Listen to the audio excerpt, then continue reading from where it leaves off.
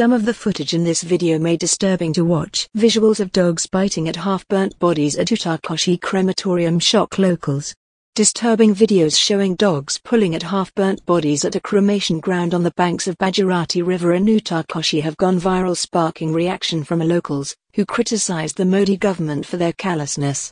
How can they be so callous to something which puts humanity to shame and where is the BJP lead government which protects the Hindus? A local said.